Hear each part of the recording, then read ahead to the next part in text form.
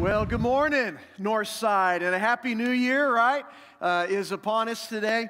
Hey, uh, if you have someone in your life that you would say is trustworthy, someone who has proven faithful, it could be a parent, it could be a grandparent, it could be maybe someone you're in relationship with, a, a girlfriend, a boyfriend. Maybe for you, uh, it's a spouse. If you have someone in your life that you would say they have proven themselves. There's a track record there of faithfulness uh, where you would entrust your life to them. I want you just to raise your hand for a minute. If you got somebody, you would say, Man, I trust them. And I, so that's, I mean, a lot of you in this room. And I want you just to think for a moment how long did it take for, for that trust to be established? How long did it take? Maybe for some of you, it was a matter of months. And because of certain circumstances that happened, you were just like, man, I, I would entrust my life to that person because they came through for me.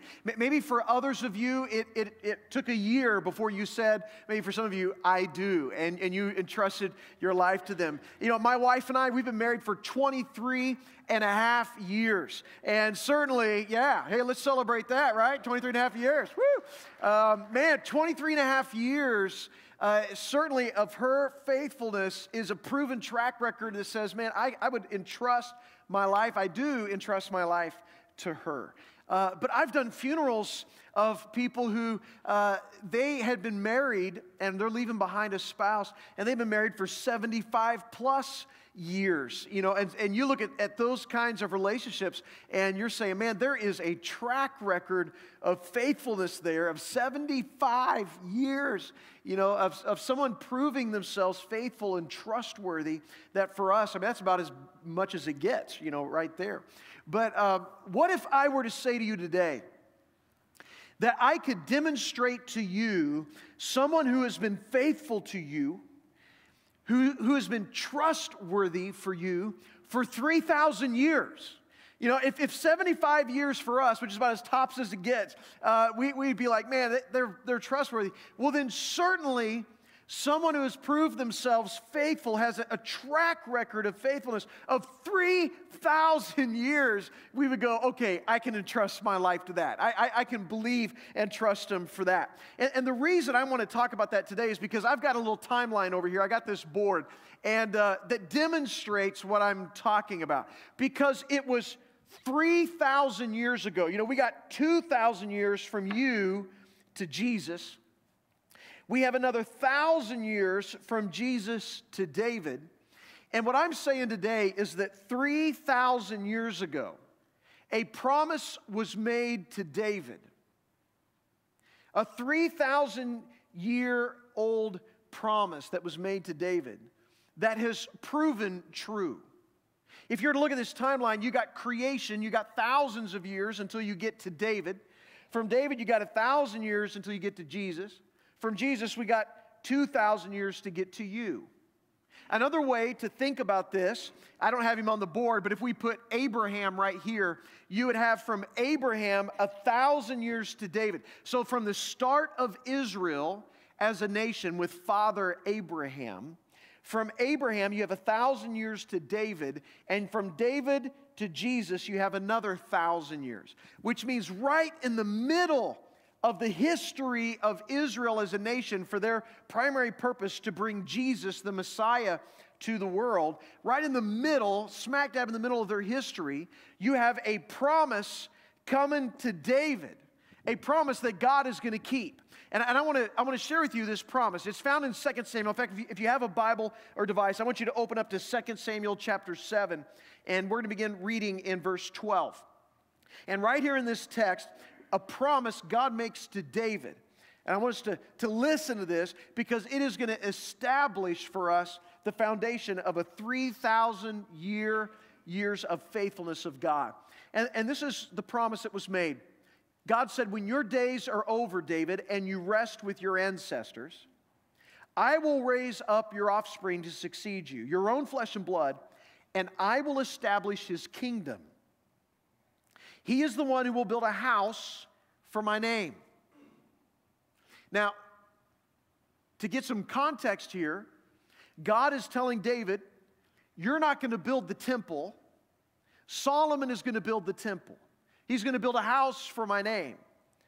But all of a sudden, we're going to see God begin to make this promise reveal that, that he's actually going to establish a house through his line forever. So Solomon will build the temple, not David. But he says, and I will establish the throne of his kingdom forever. David, the one who sits on your throne, yeah, that throne of that kingdom is going to be established forever.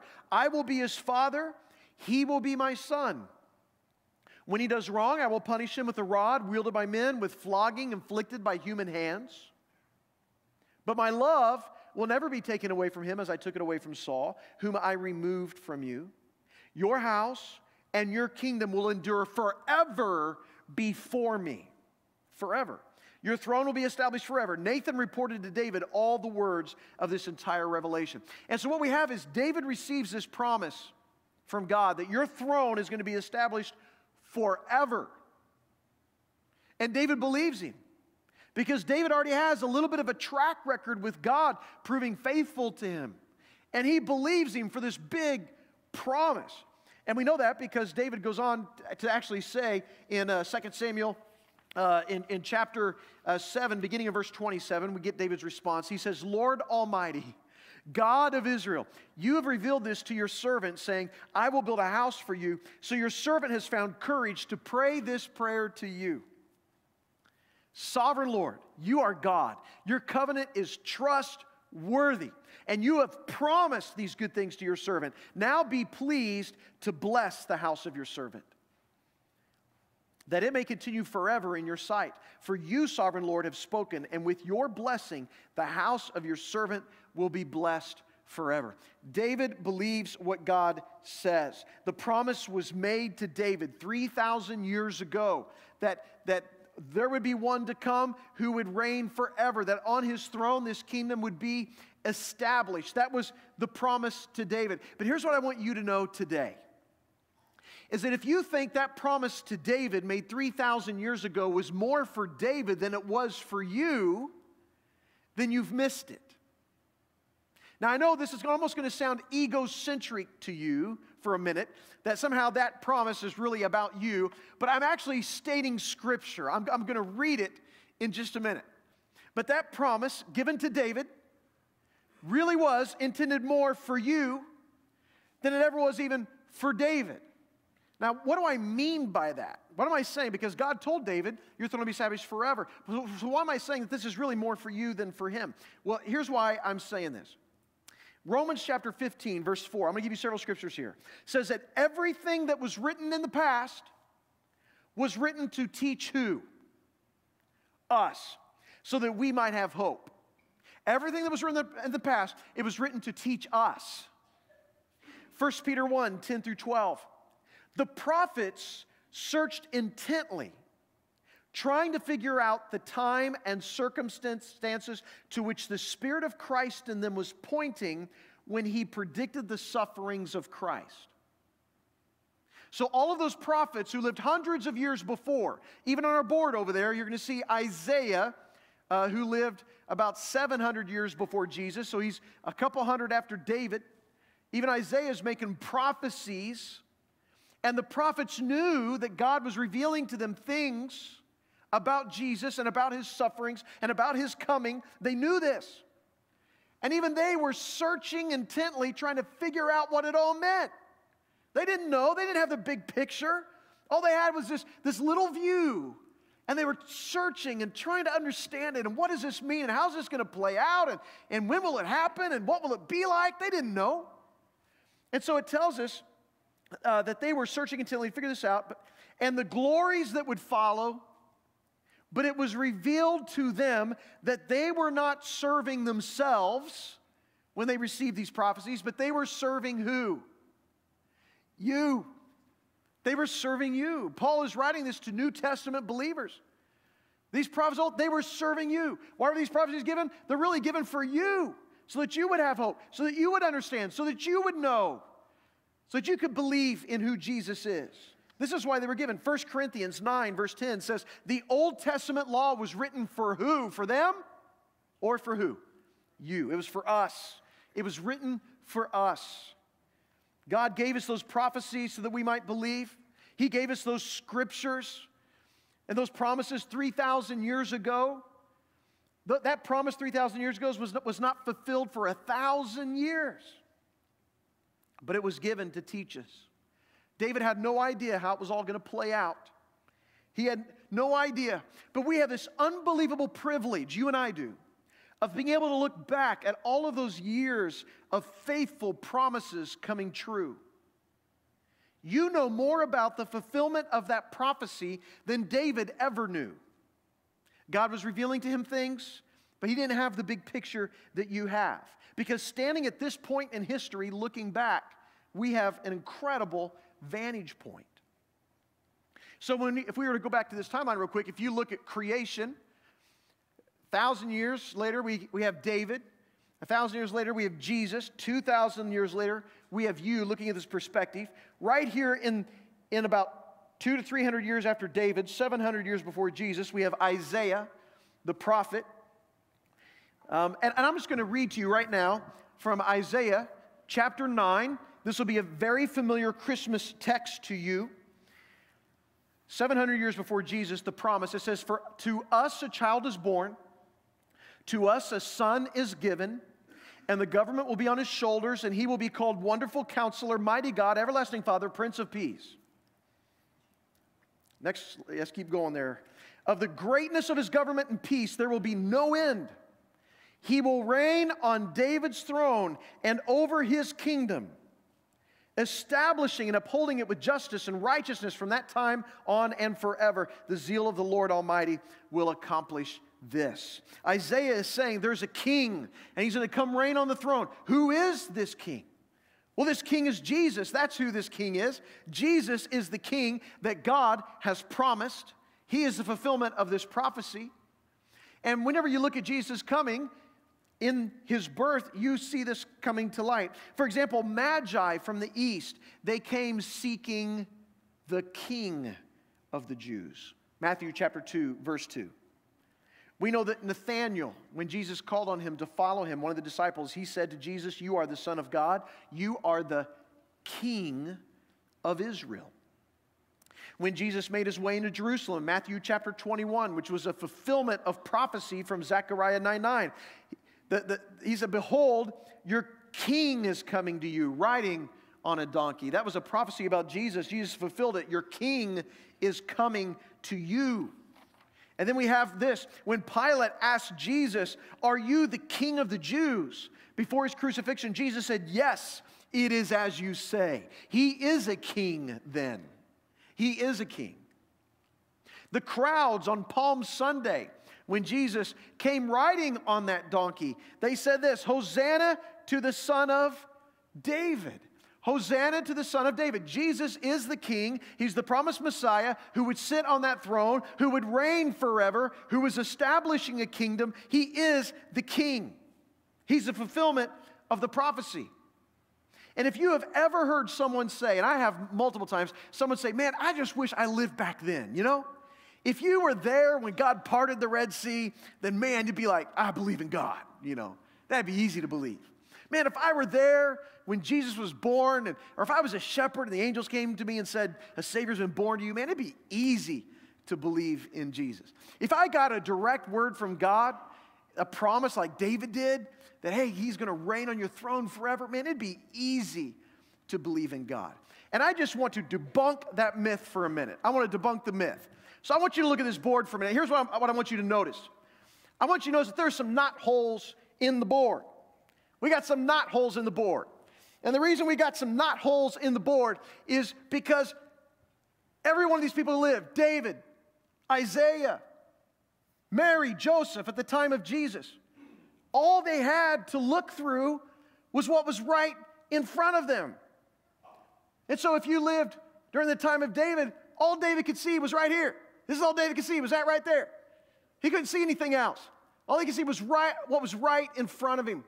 And God gave David that incredible privilege to say, Hey, David, I, I want to tell you something that's going to come. There's going to be one that comes. He gets a little sneak peek right here at what's going to happen right here, but still, he's just looking through a little knothole of what's going to happen. That, that there's going to be this king, and he's going to reign forever on your throne, forever establishing his kingdom. But then David has to live right here. This is all he gets to see. He just has this little knot hole he's looking through. He doesn't know how it's going to play out, what it's going to mean. We fast forward about two or three hundred years, we get to Isaiah. And Isaiah gets to look at what's going on around him. And Isaiah looks at what's happening around him, around him about 700 BC. He doesn't have the whole picture. And God gives him a little glimpse. The government's going to be on his shoulders, and, and this son right here is going to reign on David's throne. Wow, look at that. Well, would you look at that? And Isaiah gets a little sneak peek at who Jesus is and what he's going to do. And as he looks at this little knot hole of what's happening, he doesn't understand how it's all going to play out. He doesn't even know when it's going to play out because he can't see it from back here behind the board. It's on the front of the board. He can't see that. He doesn't know the timeline, he doesn't know every detail. He's wondering how it's all going to play out, searching intently. And he comes back here and he tells everybody, hey, guess what I saw? Guess what God revealed to me? That a son will be born to you. He will reign on David's throne. But this is all he had to look through. And then Jesus came, and Joseph and Mary, and wise men came, and shepherds, and they got to celebrate Jesus from this place right here. But this is all they had. They didn't know how it was going to play out. Mary pondered these things in her heart. She didn't know all the details of the story. And when you look at these people, sometimes we want to say, man, they had the advantage. They had the advantage. No, they didn't have the advantage. They didn't have the advantage at all. So who has the advantage? I'll tell you who has the advantage. You do right here. This is us. We got the advantage. We don't have we got no knot hole. We're looking back at 3,000 years of history.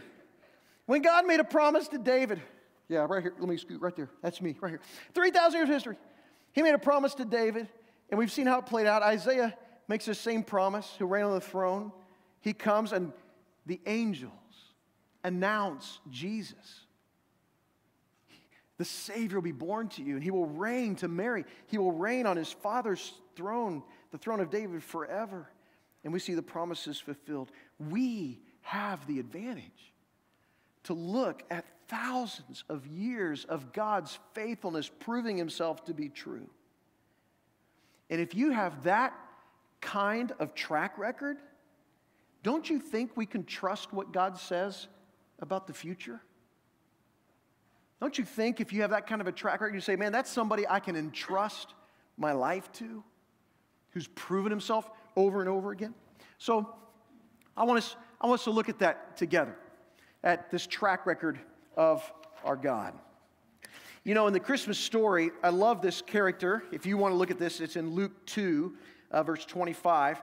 But I love the, the character of Simeon uh, because Simeon is that. Uh, that righteous, devout man who appears to be a priest, and um, which means one of his functions or roles, it seems, at the temple would be to, to consecrate children who are brought there at 40 days of age to the Lord. And at some point, it had been revealed to Simeon that he would see the Messiah before he died.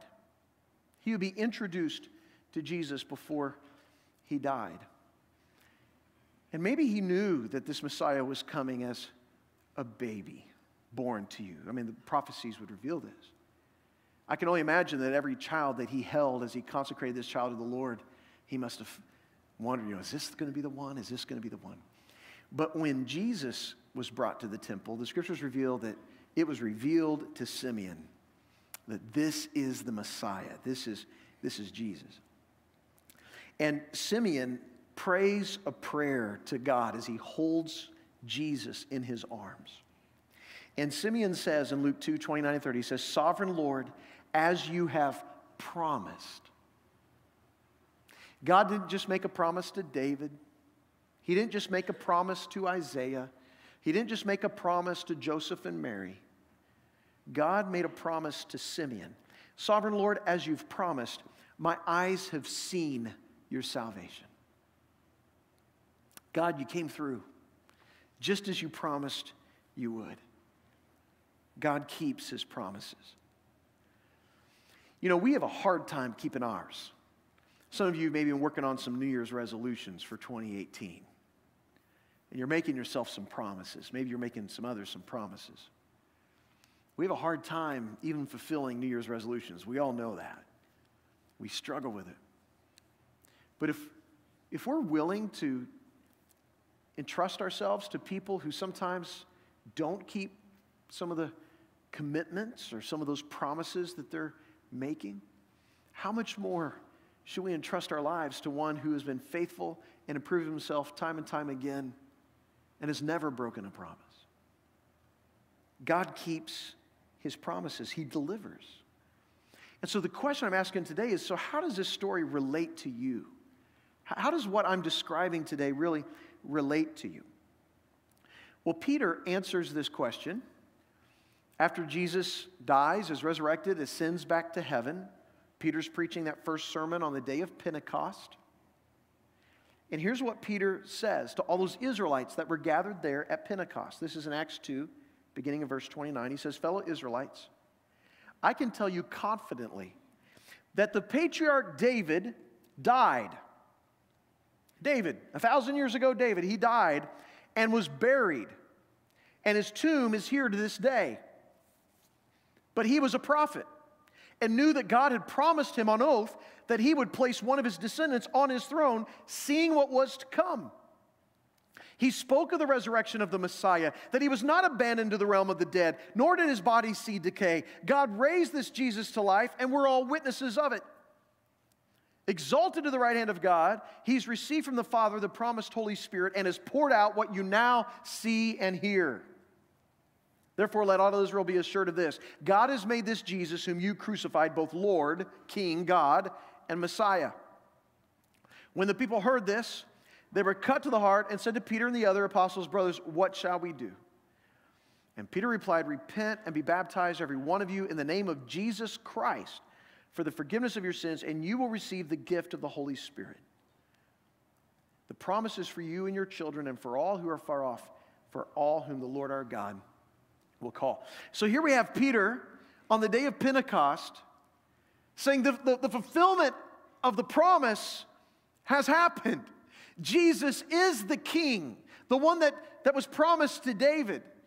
He is already establishing his kingdom. He is on his throne. He is Lord. He is God. He is the Messiah. That's what it's telling us that Jesus is that king. And here's what I want you to know today. Here's how it applies to you Jesus doesn't just want to be a king, he wants to be your king. He wants to be your king. Not just a king, but your king. You see, the reason the promise of 2 Samuel chapter 7 was written is so that you would call on Jesus to be the Lord and the King of your life. And so, what I want to do is, I want to give you three statements today, followed by three questions. Okay? So, here's the first statement Jesus is the promised King. That's a fact. Jesus is the promised King. The question is, have you received him as your King? Is Jesus your King? Is he yours? Because the biggest obstacle to Jesus becoming your king is you. It's you. You want to be on the throne, you want to be in control, you want to call the shots. You want to serve yourself, please yourself, but Peter says Jesus is Lord. That means he's king, he's ruler, he's boss, he's God, not me. I always want to play musical chairs with God. And Peter says, We don't got no time for that. You have to make him your king. Peter says, Believe that he's Lord, Christ. Repent. Turn from your sins and turn to God. That's what making him king of your life means. Is to give your heart and your life back to him. Peter says to be baptized into Christ, where you, you die to that old self and you're raised to a new life with Jesus as that king of your life. You see, for Jesus to be the king of your life, there must be a moment of surrender. Surrender to his lordship, surrender to his kingship. When you put him on the throne of your heart, the throne of your life, where you trust and believe in him. And the reason for that is because only Jesus in his kingdom can raise dead things to life again. Only in God's kingdom does that happen. If so, when Jesus is your king, that means you're in a kingdom where he takes that which was dead in sin and he makes it alive again. When Jesus is your king, he takes people who are dead spiritually and he breathes new life into them again. And people who have experienced that resurrection can then have confidence that he will raise them physically from the dead when he comes again and gives them a new body. And so, my goal is just to encourage you, first of all, to make sure that, that Jesus is your king because your salvation depends on it. If he's not your king, then you're not in his kingdom. And what I'm thinking today is wow, if David would believe with just the little evidence that he had, Nathan the prophet coming and giving David this word, if David would believe that promise, just with the little information he had, looking through the little view he had, how much more should we, in looking through all of those years of history, be able to say, I should put my faith and my trust in Jesus? He has proven faithful. Philippians 2 9 through 11 says, Therefore, God exalted him, talking about Jesus, to the highest place and gave him the name that's above every name, that at the name of Jesus, every knee should bow, every tongue confess, in heaven, on earth, and under the earth, and every tongue confess, acknowledging that Jesus Christ is Lord to the glory of God the Father. What is an appropriate response to Jesus? It is to humbly come before him in reverence to bow before him. That is the honor a king deserves in our life. That he has that place of reverence and honor, and we bow our knee to him, to his lordship. That's how you come into a king's presence. Humbly, reverence. I remember it was September 11th, 1992. I was in my junior year at Missouri Southern State College when President Bush Sr. was running for a reelection. And he came to the campus of Missouri Southern. He was giving a speech. And all of my family went because we wanted to see the president. It was a big deal. And I remember we went out onto this lawn area and he was going to be speaking. Then he was going to be walking down and shaking hands. And there was this big fence, you know, through there. And uh, so we got as close as we could get and we weren't quite up to the fence. We were maybe several rows deep. But my, my little brother, Rick, he's the youngest of, we call him Ricky, he was the youngest of us boys. Uh, he was about 12, looked like he was eight, and uh, he kind of snaked his way up to the front fence. He really wanted to meet the president. And he was so excited that President Bush was going to be there. And so he was at the front. Well, sure enough, when the president got done speaking, he came shaking hands. And when he got down to the very front, he shook Ricky's hand right there along the fence. And he got to shake the hand of the president, which was awesome. And then he reached beyond Ricky because he was only about that tall. And he began to shake the hands of the people behind Ricky. Well, Ricky, mesmerized to have the president right there, just reached up and grabbed his tie just grabbed his tie right there. And when he did that, you know, immediately President Bush looked down, he was like, whoops. And then uh, quickly a Secret Service agent slapped his hand away. And fortunately for Ricky, because he looked like he was eight, he just got a hand slap and not handcuffs. And so, anyway, President Bush kept making his way down the line. But Ricky later said, you know, I just wanted to reach out and touch him. You know, I just, I just wanted to, to grab him. So, so mesmerized by the president, you know, of the United States of America. And uh, you just don't do that. You don't grab the president's tie because that's not, that's not how you come into the presence of someone who's you know, powerful and, and significant in that, in that office. And, and if we would show some type of reverence in that way, how much more should we show reverence for God? That we come before Him humbly, knees bowed. Jesus Christ is the King. Is He the Lord, the King, the King of your life? Is He the Lord of your heart? Has he, does he, is he held in the highest regard in your life over and above everything else? King of kings, Lord of lords. And just know this this king, creator God of everything, who sustains everything in this world, he will not force his way into your life. He doesn't come forcefully. Revelation says that, that Jesus stands at the door stands at the door of your heart and he just smashes it down. No, it doesn't say that. If you know the text, he stands at the door of your life, and what's he do? He knocks, waiting for an invitation to let him in. He doesn't forcefully make his way into your heart, he's waiting to be invited. For Jesus to be the king of your life, there has to be this moment of surrender where you invite him in. But then there also must be a practice of surrender where you continually make him the king of your life. Maybe you remember back in the period of the judges, Judges chapter 17 and Judges chapter 21. It tells us that in those days, Israel had no king. That's what the text says. In those days, Israel had no king. You know why they didn't have a king? Because God was their king and they were rejecting him as God. The text goes on to say everyone did what was right in their own eyes. That's how they lived. I'm going to do whatever I want to do, when I want to do it, how I want to do it. I'm going to live for me. And so, God, you're not on the throne of our life anymore. Instead, we want a substitute. We, we want our own king. We don't want you. That's how the people were living during the period of the judges. They were not living daily for their king, there was no practice of surrender in their life to God. Which tells us that once you make Jesus king, then you have to live for that king. So here's the statement Jesus came to establish his kingdom forever. And the question is are you living for his kingdom? Are you living for his kingdom? Because when you read in the book of Revelation about king kinds of things, like thrones, for example, thrones that kings sit on. In the book of Revelation, every time it's talking about the throne of God, guess where that throne is found? It's found in heaven. And every time God talks about a throne and it's the throne of Satan, guess where it is? It's on earth.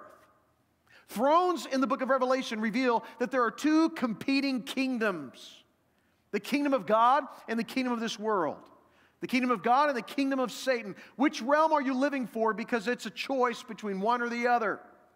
Those are the only kingdoms that exist the kingdom of God or the kingdom of Satan. The throne in heaven, are we living for that king? Or the throne on earth, are we living for the things of this world? Jesus came to establish his kingdom forever. Are you living for his kingdom? And finally, the third question is this, and final question Jesus came the first time as promised. And so the question is are you ready for his second coming as promised? It, it, Jesus came the first time just as he promised he would. That promise to David fulfilled. And now the question is if God has proven himself faithful a first time, wouldn't it make sense for us to trust that he will be faithful a second time? The Bible says that we prepare for his second coming through holy living. 2 Peter 3:11 Peter says, Since the end is near, what kind of people ought you to be? And it says you ought to live holy and godly lives. That the way you prepare for the second coming is by living a holy and godly life. Peter goes on to say in 2 Peter 3:13, he says, But in keeping with his promise, we're looking forward to a new heaven and a new earth, the home of righteousness. Look, we have another promise that we're, we're going to have a new home, that there is a heaven, and this is not it. that Jesus is coming back a second time. Are you ready? Because he's coming. 3,000 years of faithful keeping of promises reveals to me that we ought to believe this one, that he's coming again. And so the question, the statements are Jesus is a promised king. And the question is, have you made him your king?